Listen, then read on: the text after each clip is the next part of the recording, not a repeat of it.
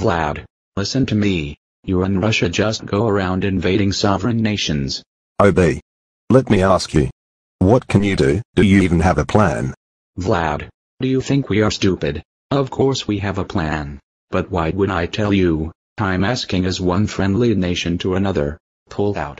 You know what I think. You don't have a plan. You don't know what to do. The United States is our paper tiger, a toilet paper tiger. There is nothing you can do. Sticks and stones. Vlad won't help you. We'll order sanctions. The Western community is not happy with countries that use force. Listen to me. There are Russian lives at stake in the Crimea. The people there are happy to see our troops. Besides, they have no sanctions that can affect Russia. Vlad, you can talk tough. But just you wait and see. You have no economic leverage over Russia. We have our own oil and other resources. You can't shame us. I stopped your tough talk in Syria. You are a toilet paper tiger. Goodbye. OB. What's wrong? That was Putin. He just hung up on me. He says there is nothing we the US can do. He's right. Your Syrian solution has gone nowhere. The Afghan Karzai has defied you. That deadline is coming up, and Egypt has ignored you. And you still won't stop their aid. Michelle, I'm trying. Good morning. The world is in crisis. The dilemma facing the US is what can we do about Russia? Hopefully Rudy and John can bring us up to speed. Ariana let me say this. Up to this point all of our dealings with Putin have been woefully inadequate. Right it's time for action. If Putin is allowed to get away with his unprovoked attack against his neighbor, US credibility will be in the toilet, down to zero. Okay, great, but I ask what can the US do?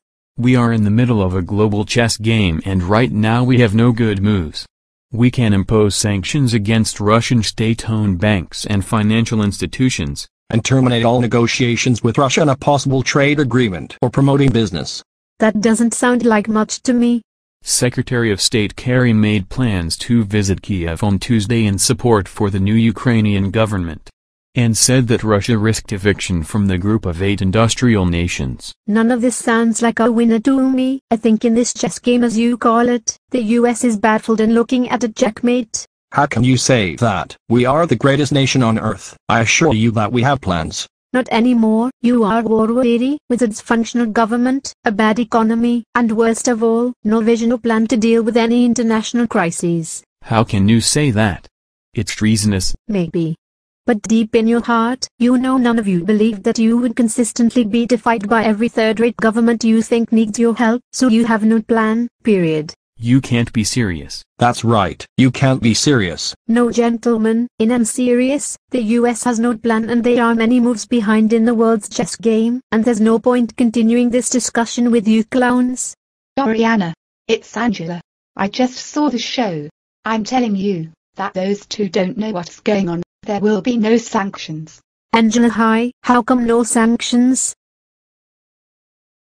Most of the European Union members get oil and gas from Russia, so they will not risk losing their energy supplier. It makes for a very tense situation. Angela, great, thanks for the update. Next time you're in town I owe you a big dinner.